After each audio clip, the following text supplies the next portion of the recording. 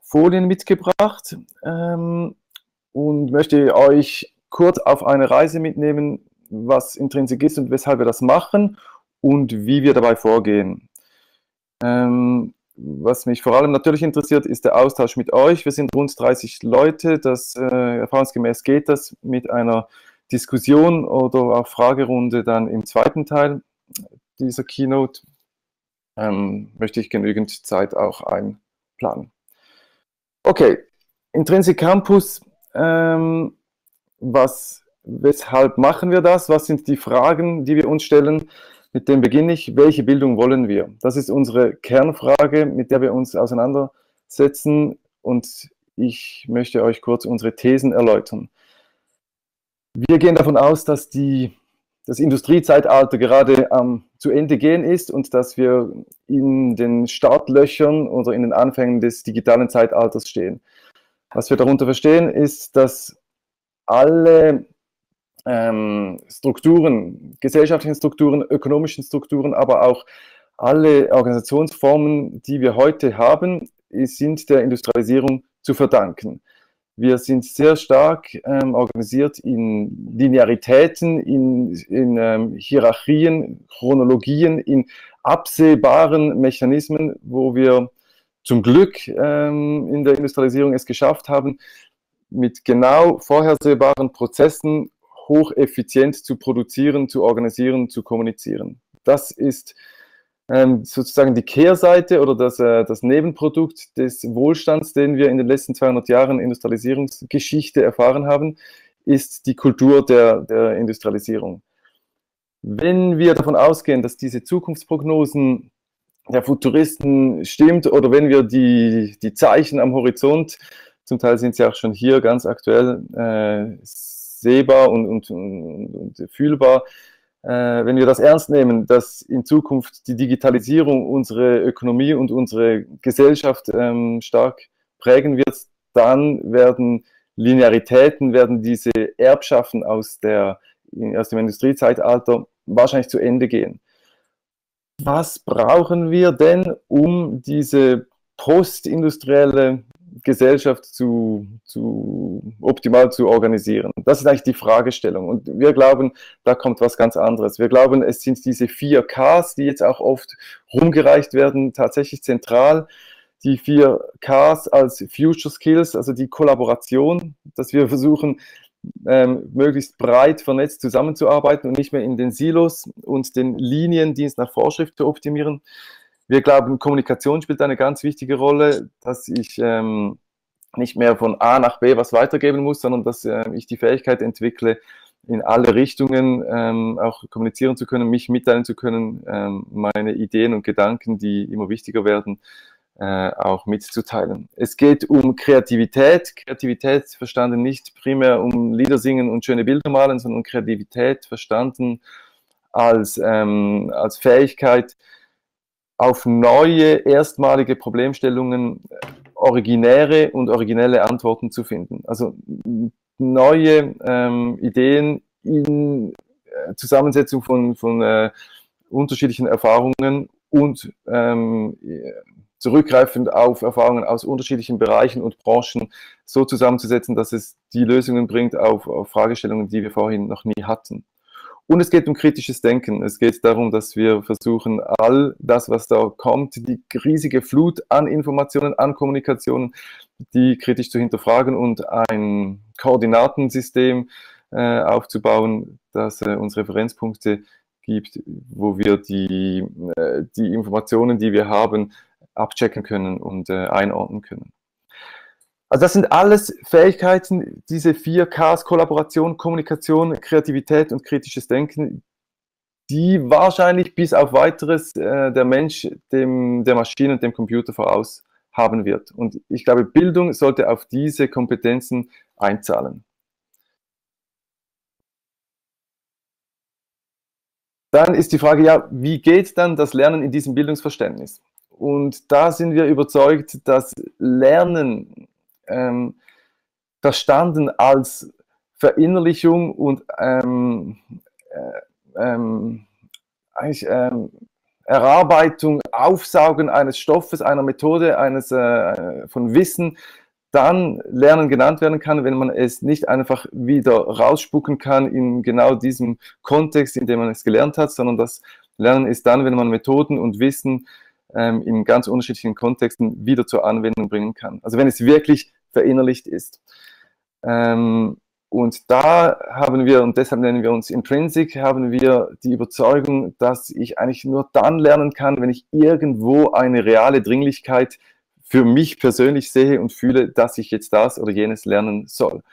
Lernen nach Vorschrift, lernen, weil es auf dem Lehrplan steht, lernen, weil es der Lehrer ähm, mir motiviert vorträgt, ist, glaube ich, in einer auch leistungsorientierten äh, Perspektive nicht effizient, weil es einfach nicht hängen bleibt. Da gibt es genügend Studien, die zeigen, ein Jahr nach Matura, ein Jahr nach äh, Studienabschluss, wo auch immer, ist die Hälfte bis drei Viertel des Wissens wieder vergessen. Und das kann es ja nicht sein. Also Lernen soll so ähm, kultiviert werden, dass ich dann einen Entwicklungsschritt machen kann, wenn ich das Fenster der Aufmerksamkeit, wie es auch die Psychologen nennen, also wenn ich persönlich bereit bin, aufgrund einer realen Dringlichkeit, weil ich akut betroffen bin von einer Fragestellung. Intrinsische Motivation, ich muss das jetzt lernen, mein intrinsischer Lerndrang. Das glauben wir, sollte Bildung in, in Zukunft adressieren oder, oder eine, eine Infrastruktur und Lernumgebung so gestalten, dass dieses Lernen stattfinden kann. Und es geht um, um Bildungskultur. Und da komme ich ähm, wieder auf diese Entlinearisierung. Ich glaube, Bildung als deterministische ähm, Veranstaltung, Bildung im Sinne von, dass wir immer von Anfang an schon definiert haben, wo es landen soll, äh, das, ist, das ist keine Bildung. Bildung ist dann ähm, eine, eine zukunftsgerichtete Bildungskultur, wenn es ergebnisoffen ist, wenn wir am Anfang noch nicht genau wissen, wo wir landen. Wenn wir auch diese Hierarchien im Sinne von, Roll von fixen Rollenverteilungen aufweichen. Es ist in der Bildung der Zukunft nicht mehr so klar, wer jetzt hier der Dozent und wer der Student ist, wer der Produzent und wer der Konsument ist, wer der Professor und ähm, wer der Student ist ähm, oder der, der, der, der Schüler ist. Bildung im Netzwerk auf gleicher Augenhöhe heißt auch Ambiguitätstoleranz, dass wir es schaffen, auf unterschiedliche ähm, Situationen in unterschiedliche Rollen zu schlüpfen. Ähm, dass wir zulassen, dass ähm, ich in der einen Situation tatsächlich der Erfahrenere bin, der Wissende bin gegenüber der, den anderen und in, in, der Situation fünf Minuten später kann es auch wieder drehen. Ähm, genau, ich glaube, das ist eine kulturelle Frage. Ähm, es geht aber auch darum, dass wir diesen Frontalunterricht ganz jetzt äh, im Alltagssetting aufweichen, auflösen. Es geht um individuelle ähm, Betreuungen. Es geht äh, darum, dass wir diese Verschiedenheit tatsächlich ehren äh, in der Bildung und nicht versuchen, alle über den gleichen Leist zu schlagen, sondern eigentlich diese Heterogenität, die naturgesetzlich die Menschen oder eine Menschengruppe mitbringt, dass wir eigentlich von der profitieren und versuchen, all die Fähigkeiten und das Wissen mit einzubeziehen, anstatt versuchen, alle still zu machen, alle in, in diese Bahn einzulotsen, damit wir möglichst ohne Stress und, äh, und Zwischenrufe unser Bildungsprogramm abspulen können. So. Jetzt, wie gehen wir am Intrinsic Campus vor?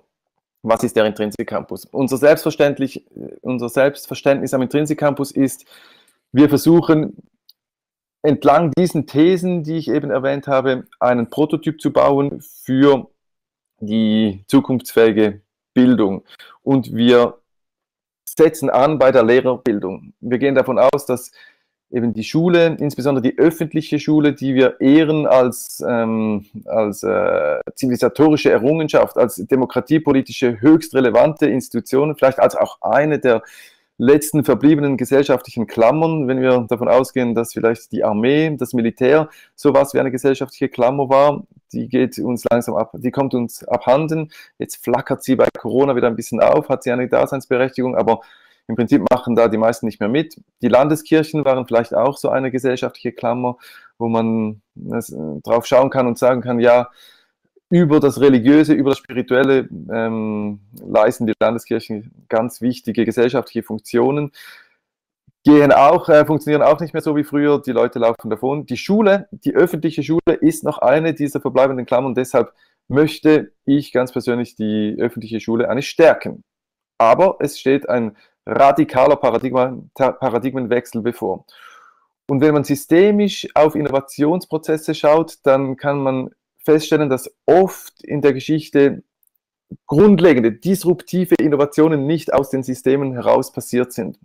Es waren nicht die Kutschenfabrikanten, die das Automobil erfunden haben und es war, waren auch nicht die heutigen großen Autokonzerne, die jetzt das Elektroauto salonfähig machten, sondern es war ein Softwareproduzent, der mit dem Tesla ganz äh, von der Außenseite her in die Autowelt reingefahren ist und jetzt auf einmal die großen Autokonzerne äh, angestachelt hat, anständige Elektromobile zu produzieren. Und das nehmen wir ein bisschen überspitzt gesagt für uns in Anspruch. Wir möchten mit dem Intrinsic Campus eigentlich den Tesla bauen, den Paradigmawechsel in, äh, in der Bildungskultur und einen Prototypen ausfeilen, bis er sitzt ähm, und den dann so gut wie möglich zu beschreiben und zu teilen, damit ihn allenfalls die angestammten Bildungsinstitutionen äh, sich davon inspirieren lassen können oder sich davon was, was äh, übernehmen können. Deshalb freut es mich auch speziell, dass wir heute äh, in Kooperation mit der PH Bern auch hier sitzen.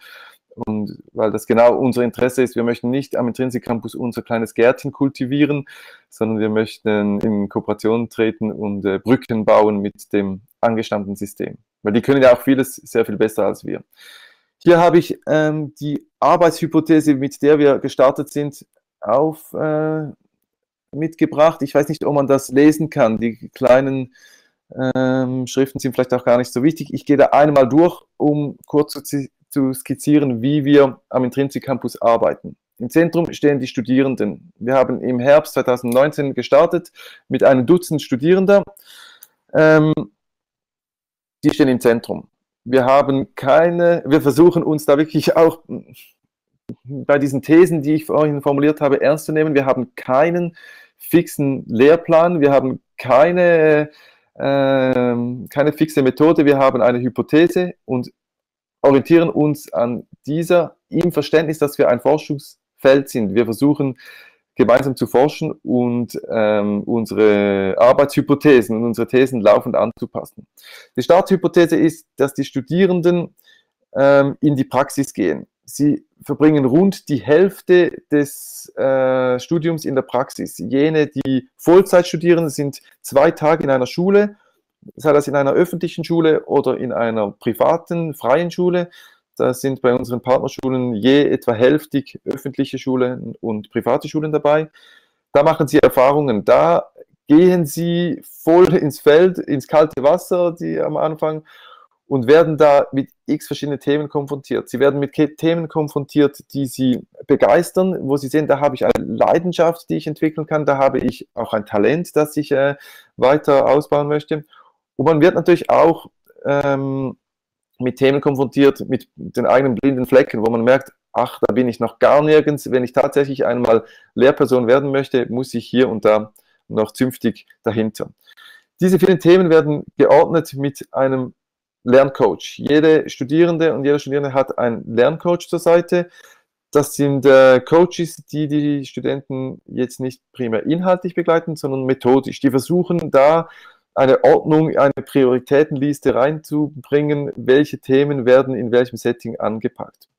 Dann sind die Themen rausdestilliert und wir kommen zurück zum Campus.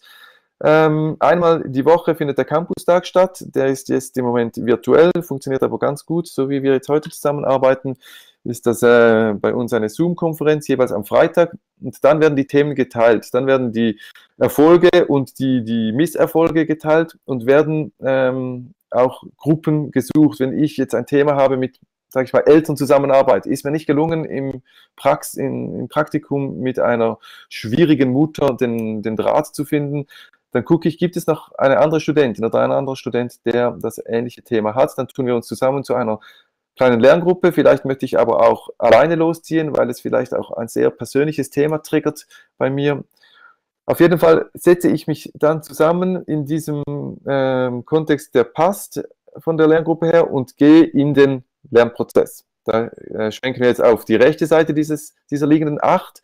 Ich suche mir eine Expertperson, die mich unterstützen kann dabei. Wir haben rund 30 Spezialistinnen und Spezialisten am Intrinsic Campus, die aus ganz unterschiedlichen Gebieten ihre Expertise reintragen. Das sind Psychologen dabei, das sind Kommunikationsexperten dabei, das sind natürlich äh, Didaktiker und Pädagogen dabei aus unterschiedlichen Hochschulen und äh, pädagogischen Hochschulen. Verschiedene Leute, die wir glauben, sie können einen Beitrag leisten auf dem Weg einer, lernende, einer werdenden Lehrperson aber nicht, also Leute, die in ganz unterschiedlichen Feldern auch arbeiten. Hier kommt auch so diese These der Vernetzung rein. Wir möchten nicht im Silo arbeiten, wir möchten nicht Experten anstellen, die sich dann im Glashaus darauf schaukeln, sondern wir möchten eigentlich ganz viel Zugänglichkeiten in unterschiedliche Praxisfelder in der realen Welt da draußen zur Verfügung stellen. Mit diesen Expertpersonen machen die Studierenden dann ein Lernprodukt. Das, äh, der Lernprozess hat einen Start und ein Ende. Das sind vielleicht zwei, drei Monate, wo man gemeinsam auf die Reise geht. Die, die, das, das Team, Studierende, Experten machen die Methode gemeinsam aus, sie wählen die Literatur und sie entscheiden, welches Lernprodukt am Schluss ins Portfolio kommt. Sei das ein Film, ein Text, ein Spaziergang, ein Spiel, eine Präsentation irgendwas, was dokumentiert, wo meine Irrungen und Wirrungen waren auf dem Weg äh, in diesem Lernmodul und ein, äh, eine Dokumentation, wo ich mich entwickelt habe. Dieses Lernprodukt bringe ich als Input dann wieder ein in den Intrinsic Campus, äh, jeweils eben an diesem Tag einmal die Woche lasse das challengen und äh, versuche die anderen Studierenden zu, zu äh, inspirieren mit diesem erarbeiteten äh, oder mit diesem erarbeiteten Produkt und gehe dann weiter nahtlos laufend äh, in, in die Praxis zurück und teste mich auf, oder mit dem neuen Lernprodukt in meinem Rucksack. Ich habe jetzt vielleicht mit einer Psychologin meinen eigenen, meine eigene Lernbiografie aufgearbeitet, die getriggert wurde mit der schwierigen Mutter und gucke, fühle ich mich jetzt anders, bin ich an einem anderen Ort in der nächsten Begegnung mit, äh, mit, mit, mit den Eltern. Wenn ich merke, das sitzt doch überhaupt nicht, dann gehe ich in einem Sinn von hoher Leistungsorientierung eigentlich und äh, Effektivität, gehe ich wieder zurück in den Lernprozess und merke, hey, ich habe da, ich habe es noch nicht. Ich, ich äh, muss da vielleicht an der Kommunikation weiterfeilen und gehe mit einer Kommunikationsexpertin in den Lernprozess, mache ein weiteres Lernprodukt und gucke dann weiter, ähm, ob, ob ich äh, jetzt an einem äh, neuen Ort bin. Das so als Beispiel. Wir versuchen somit aufgrund der ähm, der Erfahrungen und Fähigkeiten, die die Studierenden mitbringen und aufgrund der realen Dringlichkeiten, die sie in der Praxis antreffen, so das optimale Curriculum für jeden Einzelnen und jede Einzelne zusammenzustellen. Und so reiht sich Lernprodukt an Lernprodukt über diese Jahre, ähm, die die Studierenden am Intrinsic Campus verbringen. Und ähm, das gibt dann sozusagen das individuelle Portfolio, das äh, das individuelle Curriculum abbildet. So viel dazu. Ich gehe mal weiter noch und zeige einfach ein paar Bilder, dass man sich das vielleicht ein bisschen besser vorstellen kann. Wir arbeiten mit äh, Lego Serious Play, sicher vielen von euch bekannt. Wir versuchen immer eben in die Praxis zu gehen, in die Realität zu gehen, in die individuellen Themen zu gehen. Ähm, wir haben schöne Räumlichkeiten an der Talstraße mitten in Zürich hinter dem Paradeplatz. Äh, solche Bilder sind ganz häufig. Wir sitzen zusammen, wir diskutieren viel, wir, wir gehen auf die individuellen Situationen ein und tauschen uns aus. Ähm, uns gelingt erstaunlicherweise auch jetzt im Corona-Remote-Modus ähm, ziemlich gut. Das ist so ein kleines Beispiel, was ich euch vom gestrigen Campustag mitgebracht habe. Ähm, bei der Literatur äh, orientieren wir uns an einem sogenannten Ressourcenbuffet. Wir haben sieben unserer Expertpersonen gefragt, welche sind die Bücher, die ihr ähm, empfehlen würdet auf dem Weg zu einer werdenden Lehrperson. Das ist ein, äh, ist ein Buffet entstanden mit 30, 40 Publikationen und an diesem Buffet ähm, picken nun die Studierenden. Rahel zum Beispiel hat sich hier dieses Buch rausgelesen, hat das äh, studiert und hat gestern jetzt in einer Kurzpräsentation, was wir auf Miro machen, das ist so ein Workshop-Board, äh, was ich sehr empfehlen kann, äh, hat sie uns dann durchgeführt durch ihre Gedanken, hat einige Zitate rausgepickt und präsentiert, hat uns ihre eigenen Erkenntnisse und Reflexionen äh, zum Besten gegeben und hat so eine intrinsisch motivierte Buchlektüre äh, den anderen zur Verfügung gestellt und dabei die anderen Studierenden inspiriert.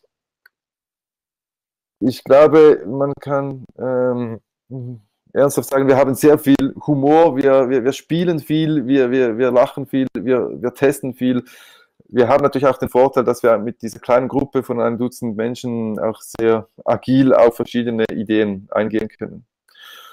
Und vielleicht als letztes Bild, wir beziehen auch immer wieder die Community ein. Wir laden in verschiedenen Formaten ähm, Leute, ähm, Experten, erfahrene Persönlichkeiten aus verschiedenen Gebieten immer wieder an den Intrinsic Campus ein und versuchen eben nicht in unsere Bubble uns selbst zu verlieben, sondern uns immer auch wieder zu, zu testen. Das ist jetzt hier ein Bild, glaube ich, das war noch im März, Anfang März, ähm, das Openki Festival, ein äh, Festival von Openki, ist eine Freilerninitiative, wo wir auch ein Angebot gemacht haben am Intrinsic Campus.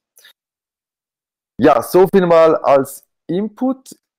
Jetzt, ich habe den Chat nicht mitverfolgt. Ich schlage aber vor für die Diskussion und Fragerunde, schaltet euch ein mit Kamera und Bild und Ton.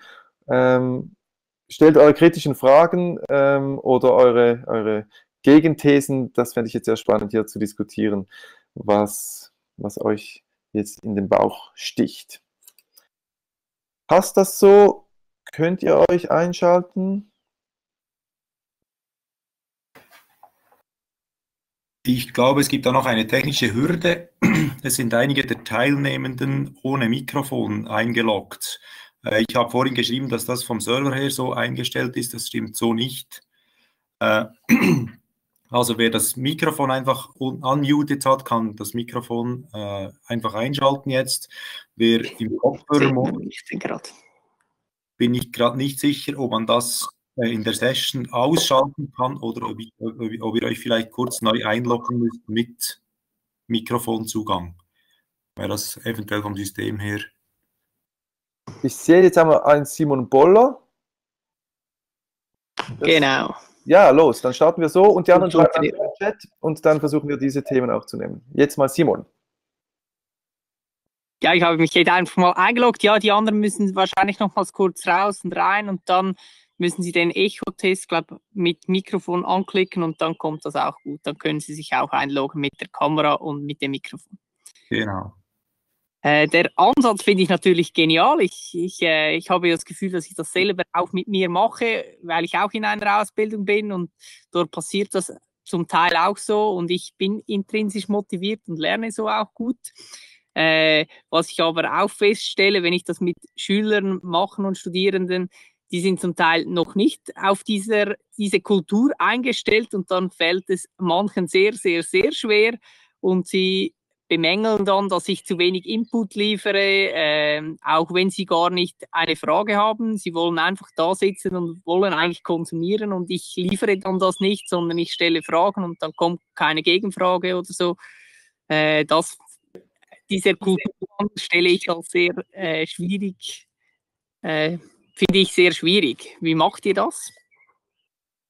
Genau, ich gehe vielleicht noch kurz auf den Titel unserer Session ein. Die heißt Lehrerbildung in oder Bildungskultur in Freiheit und Eigenverantwortung. Ich glaube, das ist der paradigmatische Wechsel, dass man nicht sagt, ja, es gibt da eine höhere Instanz, die dir sagt, was du zu lernen hast und wie das geht, sondern wir übergeben, auf, also wir, das können wir auf, anwenden auf alle Bildungs- Etagen. Auch in der Schule, wir übergeben die Verantwortung, was du lernen möchtest, dir. Das geht aber nur, wenn ich dir maximale Freiheit gebe. Und deshalb gehen wir von einem disruptiven Paradigmenwechsel aus. Da da funktioniert ganz vieles, äh, was wir heute in, in, Schule und Bildung kennen, nicht mehr. Es gehen vorgefertigte Lehrpläne, vorgefertigte Schulklassen in alterssortierten Gruppen nicht mehr. Es gehen Bewertungsschemen nicht mehr, wo ich mit Machtinstrumentarien, ob die jetzt missbraucht werden oder auch nicht, sei dahingestellt, aber wo ich bewerten, ich in der Linearität, in der Hierarchie bewerten kann, was richtig und falsch ist. Das geht alles nicht mehr. Wenn ich und ich kann dir nicht ein bisschen die Freiheit geben, das war wie die Einführung der Demokratie. Man konnte nicht ein bisschen Demokratie einführen. Man konnte in den 70er Jahren nicht ein bisschen Frauenstimmrecht testen, sondern entweder gibt es diese Freiheit mitzuentscheiden oder gibt es sie nicht. Natürlich soll ein, ein sozialer Rahmen, sollen Spielregeln, sollen äh, Rahmenbedingungen gelten, aber es es muss grundsätzlich die Freiheit und Entscheidung, was zu lernen ist, muss beim Lernenden sein. Und nur dann kann die Verantwortung wahrgenommen werden. Und dann geht das ganze Spiel nicht mehr auf, dass ich als Lehrer dir das Material und den Inhalt und die Methode hinknalle und du musst halt im besten Sinne Dienst nach Vorschrift zu machen. Dieses Zeitalter von äh, der Ausbildung guter Soldaten und Fabrikarbeiter ist definitiv vorbei. Aber das ist, also das ist eine, eine große Übung, glaube ich, und es gibt noch nicht so viel Erfahrungen da drin. Deshalb braucht es Experimente. Und wir versuchen hier zu experimentieren im vollen Bewusstsein, dass wir auch scheitern können oder dass wir noch lange nicht der Weisheit letzter Schluss gefunden haben. Darf ich auch eine Frage stellen? Ja, gerne. Kommt ja. Markus. Ah, hallo Markus. Ja, hallo. Bitte sehr. äh, ja, also ich, ich bin Gerd, ich weiß nicht, hörst du mich auch? Gerd höre ich, aber jetzt kommt zuerst Markus. Okay, Entschuldigung. Okay. Ja, äh, was mich noch interessiert, ist so die, ähm, die Zusammenarbeit mit den, äh, mit den pädagogischen Hochschulen. Also ich, äh, ja, ich, ich, war ja sehr, sehr aktiv auch dabei, als, als das Intrinsic Campus oder Lab entstanden ist. Und äh, was mich noch ähm, interessiert, ist so die, die Berührungspunkte und, und auch die, die Zusammenarbeit, wie ihr die aktuell seht? Genau, wir haben äh, unterschiedliche Berührungspunkte. Vor einem Jahr, bevor wir gestartet sind, ähm, sind wir auch auf die PH Zürich äh, zugegangen, ganz aktiv, weil das in unserer Nachbarschaft ist, sozusagen die nächste PH ähm, im Zentrum von Zürich. Und äh, ich hatte dann ein tolles Gespräch mit dem Rektor der PH Zürich. Ähm, Genau, und das Interessante, vielleicht um diese Anekdote kurz zu erzählen, das Interessante war, wir haben eigentlich dieselben Fragen, natürlich. Ähm, was sind die Future Skills, was sind die Fähigkeiten, die die Kinder von morgen lernen sollen? Wie gehen wir mit Digitalisierung um? Ähm, die Fragen, die jetzt ganz akut auch äh, gestellt wurde mit Corona.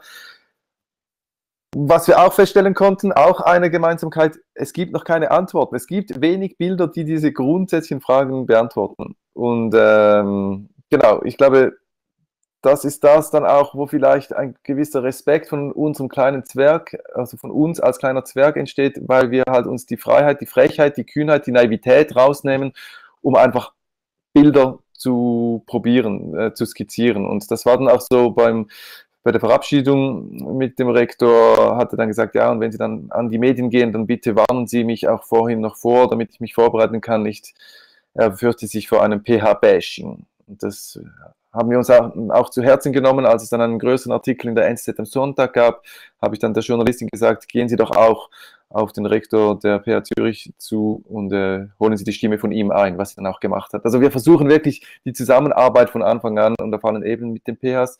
Sonst äh, haben wir ein Forschungsprojekt mit, der, äh, mit dem mit einem Bildungspreis der PH Zürich am Laufen. Wir sind äh, in einem anderen Forschungs- also dort geht es um Bewertung und Beurteilung, ein, ein sehr zentrales Thema im Paradigmenwechsel der Bildung. Wir sind mit einem Startup, äh, das sich mit künstlicher Intelligenz auseinandersetzt, äh, verbunden in einem anderen Forschungsprojekt, wo die PH äh, St. Gallen Thurgau, äh, PH Thurgau mit macht und die FH St. Gallen, da geht es um künstliche Intelligenz beim Lernen. Also wir haben punktuell und auf verschiedenen Ebenen Berührungspunkte. Es gibt äh, Expertpersonen, die auch Dozierende sind ähm, äh, an einer äh, der vielen PHs. So, aber institutionell sind wir bisher nicht verbunden. Ein ein Fernziel von uns ist, dass wir ein Austauschprogramm machen können, dass wir in Fällen, wo wir erkennen, ach, da ist jetzt eine Studierende in einem Praktikum an mathedidaktischen Fragen dran, da kann vielleicht der ein oder andere Semesterkurs an einer PH viel bessere und effizientere Antworten oder Lernschritte ähm, bringen als wir hier am Campus, dann sollte es doch möglich sein, dass diese Studentin einen Semesterkurs an der PH Zürich zum Beispiel verbringt. Und umgekehrt, wenn da PH-Studierende die Lunte gerochen haben, dass es da noch was anderes gibt, dann sollte es doch auch möglich sein, dass die ein Semester bei uns mitmachen. Das wäre eigentlich ideal. Aber bis jetzt ist es erst punktuell in konkreten Zusammenarbeiten. Meistens sind das äh, so Forschungs-, kleine Forschungsprojekte, die wir jetzt am Laufen haben. Weitere Fragen, Beiträge? Ja, ich hätte, ich hätte noch eine Frage. Also Sehr gerne. ja, genau.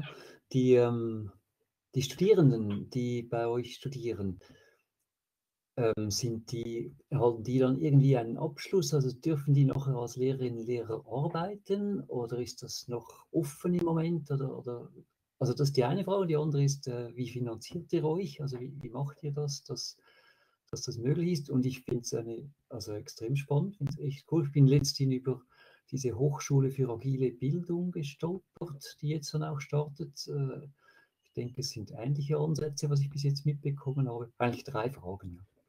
Super. Ähm, Akkreditierung als Hochschule, ähm, gültiger Abschluss, ist die, war die erste Frage. Wir äh, vergeben kein Lehrerdiplom. Wir ähm, sind eine nicht akkreditierte Hochschule, wir sind wahrscheinlich gar keine Hochschule, ähm, wir sind ein, ein Forschungsprojekt ähm, und die Studierenden sind im Prinzip Forschungsmitarbeitende, wie es eine Studentin vor kurzem gesagt hat. Ähm, wir haben zum Ziel, uns als irgendwie Hochschule akkreditieren zu lassen. Das ist nicht unmöglich. Es gibt ja auch private Hochschulen wie zum Beispiel Kaleidos und andere. Ähm, es gibt bisher keine privaten oder alternativen pädagogischen Hochschulen. Und da es ist nicht ausgeschlossen, dass das uns gelingen könnte. Man muss aber auch ganz realistisch sein. Es ist im Prinzip nicht im Interesse der EDK, also der Eidgenössischen Bildungsdirektorenkonferenz. Das ist der Zusammenschluss der ähm, Bildungsminister sozusagen, also der Erziehungsdepartementsvorstehenden der Kantone, die bilden die EDK und die haben die Hoheit, die Akkreditierung für die pädagogischen Hochschulen zu geben. Das ist ein föderales ähm, äh, Politikum oder Polit Prinzip in dem Sinne. Und eigentlich gibt es politisch kein Interesse, dass es weitere pädagogische Hochschulen geben soll, weil das ja eigentlich eine Privatisierung der öffentlichen Bildung ist. Von dem her wir werden das versuchen und testen, sobald wir einen Schritt weiter sind, sobald wir beschreiben können, oder wir haben das gründlich abgeklärt, was braucht es dann für eine Akkreditierung. 2018, äh, bevor wir gestartet sind und haben den Kriterienkatalog, äh, das ist einfach, rausgefunden. Man muss Forschung betreiben, man muss ein Curriculum vorlegen, man muss zeigen, was man macht. Das kann man natürlich nur ex post und nicht schon im, Vor im Voraus, bevor man sagen kann, wie es geht. Und da ähm, wollen wir aber auch vorsichtig sein. Wir möchten nicht uns primär an einem Kriterienkatalog, der natürlich die pH ab, die pHs abbilden, orientieren, weil sonst laufen wir die Gefahr, eine schlechte Kopie der pädagogischen Hochschulen zu werden. Also wir haben das auf der Traktantenliste, diese Akkreditierung anzupeilen, aber es hat nicht die oberste Priorität. Unsere Studierenden haben somit kein gültiges Diplom. Ähm, was auch nicht das Ziel ist, wie gesagt. Äh, das Ziel ist, einen Prototyp zu bauen und nicht äh, möglichst viele Studierende da auf den Markt zu schicken. Interessant ist aber, dass die Studierenden jetzt schon nach dem äh, ersten Semester, jetzt im zweiten Semester, Angebote von verschiedenen Schulen bekommen.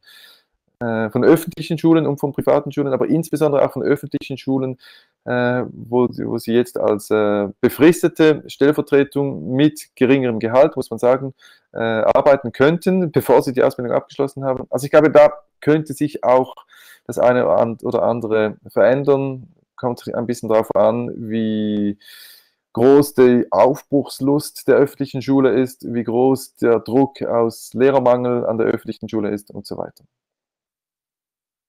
Die Finanzierung ähm, ist äh, privat geregelt. Äh, wir haben Stiftungen, die uns unterstützen. Das ist die Mercator Stiftung, es ist die ACAS Foundation und es sind weitere Stiftungen, die äh, sich überlegen, jetzt hier einzusteigen. es braucht nicht so viel Geld, aber es braucht natürlich Geld, um das, äh, um das zu finanzieren. Ähm, da werden wir bis auf weiteres auf diese Drittmittel angewiesen sein. Was wir bis kurz vor Corona jetzt gestartet haben, ist, sind Testläufe mit Lehrerweiterbildungen. Das sind äh, einfach aus, der, aus Anfragen, wo Lehrpersonen oder auch Schulleitungen auf uns zugekommen sind und gesagt haben, ja, Intrinsic Campus ist gut und recht, aber wir sind schon Lehrer oder wir haben äh, schon ein Lehrerteam, wir würden gerne einen Fortbildungstag machen, haben wir jetzt schon angeboten, maßgeschneidert und begonnen jetzt ein erster Prototyp in Zusammenarbeit mit der ZHDK, also Zürcher Hochschule der Künste, ähm, ein Lehrer-Weiterbildungsangebot zu machen. Und das wird längerfristig auch jetzt vom Businessplan her, äh, wird das äh, dann ein äh, ökonomisches Standbein werden, wenn wir da äh, eine, eine, eine Drittmittelfinanzierung ablösen können per Umsatz mit Lehrerweiterbildung. Und dann, wie es auf die weitere, längere Frist weitergeht, wissen wir noch nicht. Und die dritte Frage war die Hochschule für agile Bildung, Christoph Arn und äh, Jean, Jean-Pierre oder Jean, Jean, Jean, Jean-Pierre, Jean, irgendwie Jean Munch. Ähm, das äh, sind Kollegen von uns. Wir haben diese ganze Akkreditierungsfragen mit, miteinander abgeklärt. Äh, das haben wir in einer gemeinsamen Arbeitsgruppe gemacht und jetzt machen sie sich aber ähm, auf ein eigenes Projekt zu starten. Sie starten diesen Herbst und äh, wir stehen da im Austausch, aber es sind zwei unterschiedliche Projekte, die sehr ähnlich funktionieren und die hoffentlich auch äh, als Netzwerkpartner dann äh, in, mit uns in Zusammenarbeit kommen. Also vielen Dank. Ich finde, du hast sehr äh, klar für mich beantwortet. Vielen Dank. Gerne. Jetzt gucke ich im Chat. Ah, das, das, ist eine ganze Diskussion zwischen Marcel und Benedikt am Laufen. Will sich da jemand noch einklinken und das kurz auch formulieren, damit nicht alle nachlesen müssen? Also es geht ja da darum, was man macht, wenn sich eine, wenn sich herausstellt, dass sich eine Person nicht als Lehrperson eignet. Ich kann da vielleicht kurz ein Phänomen schildern, was wir jetzt beobachten mit den Studierenden. Wir sind ähm, eingefädelt im September 2019. Ich, ich suche hier nochmals ein Bild heraus. Ah, irgendwo im Hintergrund sieht man da diese komischen äh, Spiegelkugeln, das ist symbolisch äh, gemeint. Wir haben uns ein paar Tage zum Start nach Savonin zurückgezogen und haben da eigentlich den Fixstern gebaut. Jeder einzelne Student hat seinen Fixstern gebaut, äh, symbolisch äh, gesagt, versucht ein Bild zu skizzieren, welche Lehrperson er oder sie werden möchte. Und das, den Fixstern haben wir dann von Savonin runtergebracht nach Zürich und haben ihn da in den Himmel geschossen. Ähm, das erinnert uns da laufend dran. Die Idee ist, dass jeder eigentlich an seinem Berufsbild arbeitet. Da gab es eine Erstdefinition im September letzten Jahres und wir holen diese Sterne auch immer wieder mal vom Himmel und, und feilen und schleifen und arbeiten an denen, um sie dann wieder nach oben zu schießen, damit man eine Orientierung hat. Was ich damit sagen will, ist, dass die Fixsterne unterschiedlich sind. Es wird jede Studentin und jeder Student eine andere Lern Lehrperson. Und was jetzt interessant ist, ist, dass sich diese Berufsbilder laufend weiterentwickeln, weil wir ja das Berufsbild nicht, nicht fix vorgeben. Da gibt es Leute, die jetzt immer mehr Klarheit haben, sie möchten im Kindergarten arbeiten, sie möchten ähm, ganz klar an der öffentlichen Schule arbeiten, sie möchten in einer freien Schule arbeiten, jemand anders ist daran, eine eigene äh, Privatschule zu gründen. Ähm, es gibt Leute, die sagen, ja, nein, ich möchte mehr in, einem, in einer freien Szene im Bildungsbereich arbeiten. Und der Leni hat jetzt zusammen mit der Rahel ähm, im Januar, Februar und März je ein Future Skills Workshop in Zusammenarbeit mit einem Kunstraum in Zürich angeboten. Und hat so in der freien pädagogischen Szene Erfahrungen gesammelt. Da gibt es auch ganz viele Berufsfelder und Berufsbilder. Und ich bin sicher in Zukunft immer mehr, wo pädagogische Kompetenz, äh, Begleitung in der Entwicklung von Kindern und Jugendlichen gefragt ist.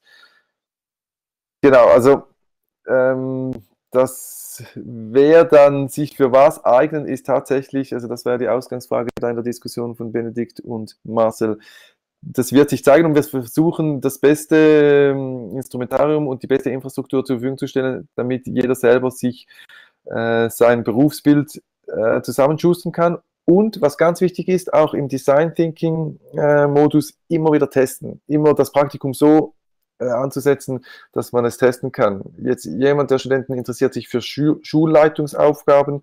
Da geht es jetzt darum, ein Praktikum bei einem Schulleiter zur Organisierung habe ich noch nie gehört, dass das geht, dass es das gibt, aber sollte ja sicher möglich sein. Interessant ist, dass unsere Partnerorganisationen, Schulen äh, und Lehrer kommen vor allem auf uns zu und sagen, wir finden das interessant äh, mit dem Intrinsic Campus, wir würden uns da gerne einklinken. Und das sind natürlich ideale Voraussetzungen, um eine Zusammenarbeit aufzuziehen, anstatt dass wir Schulen oder Lehrpersonen beauftragen, hier einen halt mühsamerweise einen Praktikant oder eine Praktikantin zu nehmen. So, ich mache da einen Punkt. Was gibt es sonst noch aus eurer Runde? Ja, hier ist Arif. Ich hätte zwei Fragen. Hallo, Kann man mich gut hören? Hallo. Hört dich. So, eine Frage. Also grundsätzlich halte ich diesen Ansatz für die Erwachsenenbildung auf jeden Fall sehr spannend. Ich frage mich nur, ob das auch für alle Altersstufen geeignet ist. Also speziell jetzt auch eben für Kinder, für Primarschule. Also da habe ich auch schon konkrete Beispiele mitbekommen. Teilweise werden ja diese, werden diese Ansätze ja schon praktiziert, dass die Kinder, ja, dass bei ihnen Frust aufkommt, wenn sie keine Anleitung bekommen. Also wenn man sie einfach damit überlässt, ihnen sagt, gewissermaßen überspitzt gesagt, bringt es euch selber bei eben dieser Punkt, dass man, dass man eigenständig schaut, was man brauchen kann, dass man eigenständig lernt. Da habe ich den Eindruck, dass bei Kindern zumindest es mehr Anleitung braucht. Da wollte ich eben fragen, wie ihr das seht mit eurem Ansatz jetzt eben für, für die Schulbildung Kinder, Jugendliche. Ja, äh, bin ich anderer Meinung ähm, gibt es ganz viele ähm, Forschungsliteratur auch dazu. Äh, interessant finde ich die beiden Gebiete Entwicklungspsychologie, die eigentlich besagt, dass das Kind, wenn es zur Welt kommt, wenn es ganz am Anfang des Lebens steht, übernimmt es sehr viel Verantwortung und ist es auch gut geübt in, der Freiheit. Es äh, lernen laufen, lernen reden und so, das ist ja nicht auf Lektionen, auf vorbestimmte Unterrichtseinheiten, äh, basieren, sondern das ist abgucken, probieren und die einen Kinder lernen mit ähm, dreivierteljährig äh, gehen, die anderen brauchen bis eineinhalb und so weiter. Also da lässt man in der Regel ja auch, da haben wir die Kultur dazu, lässt man den Spielraum. Ich glaube, wenn man diese Kultur beibehält, dann ähm, können die Kinder viel mehr, kann man ihnen viel mehr zumuten und zutrauen, als wir das gängig heute tun. Vielleicht könnte man auch ähm, das, äh, den paradigmatischen Wechsel, der ansteht, so beschreiben, dass es eigentlich darum ginge, die Freiheit beim Lernen im Kleinkindalter bis ins Erwachsenenalter aufrecht zu erhalten. Was wir heute kennen und haben, ist das Verlernen der Übernahme, also wir haben verlernt, die Freiheit und Verantwortung zu, zu, zu managen, zu handeln, dass wir mit diesen äh, Möglichkeiten umgehen. Wir sind wir sind abhängig äh, von den Anleitungen, von, von den, äh, an, also von, von den äh, Voransagen, dass mir jemand sagt, was zu tun ist, weil halt eben, und das ich glaube schon die, die Erbschaft aus der, aus der Industrialisierung, weil deterministisch immer gesagt ist und geplant ist, was wir zu tun haben. Und das ist ein philosophisches Thema auch, ähm, könnte man lang diskutieren. Äh, ich glaube, man muss es testen und an die Grenze gehen. Und wenn man ein Spektrum anguckt, hier ist Dienst nach Vorschrift und da ist maximale Freiheit und Eigenverantwortung. Dann ist unser Ansatz nicht dogmatisch, es muss alles äh, Freiheit und Eigenverantwortung sein. Aber wir möchten die Grenzen ausloten, wir möchten weggehen von Dienst nach Vorschrift und gucken, wie weit können wir gehen in einem spielerischen Modus äh, in einem radikalen Ansatz, aber undogmatisch im Bewusstsein, dass wir natürlich auf diesem Kontinuum hin und her pendeln werden. Aber lass uns einmal ins Kraut schießen, lass uns mal überborden mit Freiheit und Eigenverantwortung. Dann werden wir die Grenze finden, wo es Sinn macht. Und es gibt auch nicht eine richtige Antwort, selbstverständlich. Es gibt Ambiguitäten. Wir werden uns viel mehr in Ambiguitätstoleranz üben müssen, dürfen, können. Ich gucke auf die Uhr. Es ist bereits 20 nach 10 um 10.30 Uhr gehen die äh, Workshops weiter. Erfahrungsgemäß machen Pausen Sinn in diesem Setting. Ich schlage vor, wir kommen hier zu einem Schluss. Bin jederzeit natürlich gerne bereit, weiter zu, zu diskutieren, in welchem Format auch immer. Intrinsic.ch ist unsere Website. cm, meine Initialen, at intrinsic.ch ist meine E-Mail-Adresse. Vielen Dank, dass ihr da wart und äh, auf bald. Habt eine schöne Open Education Half Day weiterhin. Tschüss.